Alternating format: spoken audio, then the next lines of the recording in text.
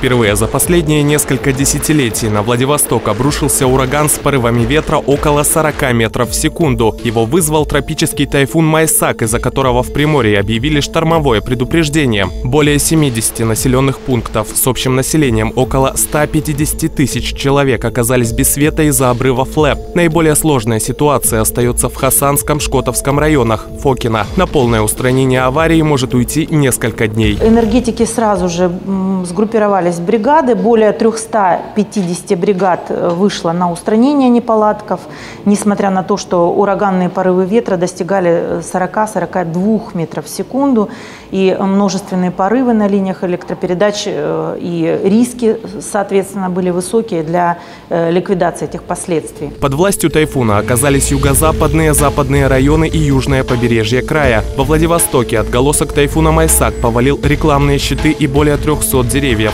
Деревья падали во дворах, на парковке, а также на дороге. Не повезло десяткам автовладельцев. Иногда деревья падали на проезжую часть.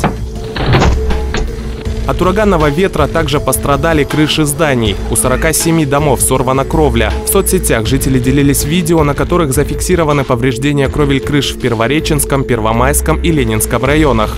О, какой ужас! На авторынке «Зеленый угол» сорванная крыша повредила несколько автомобилей.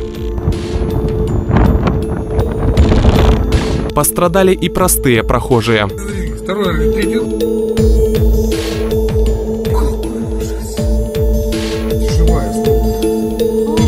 Затопило главный порт Дальнего Востока. Рабочие гавани в Находке оказались по колено в воде. А в бухте Улис ветром унесло плавучий док, который в итоге снес несколько катеров.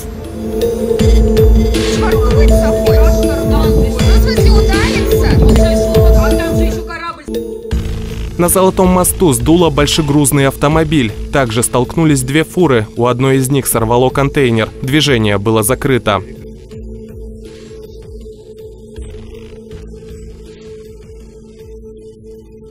Из-за неблагоприятных погодных условий было нарушено движение и на федеральных трассах.